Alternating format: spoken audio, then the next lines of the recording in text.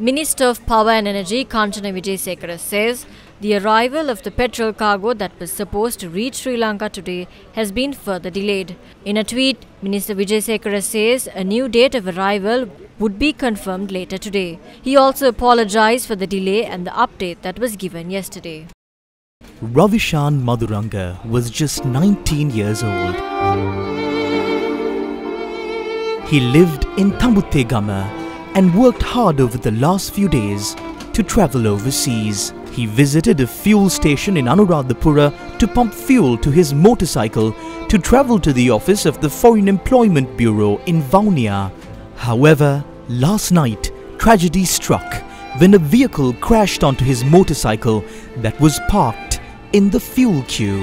එයා රට යන්න ඕනේ කිව්වා. ඒ රටේ ඉඳලා අපිට කිසිම දියුණුවක් නැහැ. එතෙන්ට යන්න දෙල් ටික ගහගෙන තමයි ඔතෙන්ට දිගි කනුවට ඇවිල්ලා රුරියට යට වෙලා මගේ පුතාගේ ජීවිතේ නැති වුණේ. අවුරුදු 19 ඇතෙක් වගේ පුතෙක් නැතුණි. එහෙනම් මුට මේ සාප වෙනවා. රටේ අහිංසක මිනිස්සු පිළි ගන්නවා දවසෙන් දවස හෙට වෙනකොට අනිත් දවසට කී දෙනෙක් නැති වෙයිද කියලා කියන්න දන්නේ නැහැ. At just 19 years old, a soul that shouldered the weight of the family that survived on agriculture was lost To the nation.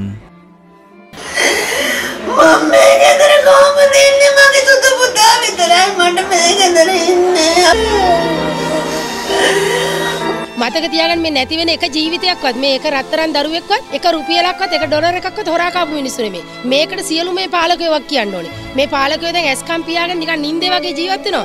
මතක තියාගන්න මේ පව් ගෙවන්න වෙනවා කවදා හරි. මේ ඉන්නේ මේ රට වෙනුවෙන් වැඩ කරන ජනතාව. මේ කවුරුත් නෑ මෙතන හොරු මංකොල්ලකාරයෝ.